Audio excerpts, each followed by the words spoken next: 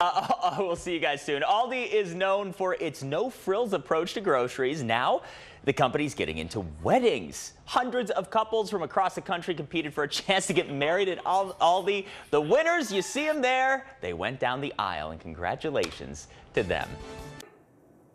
Hey, if you like that video, be sure to subscribe to our ABC7 Chicago YouTube channel.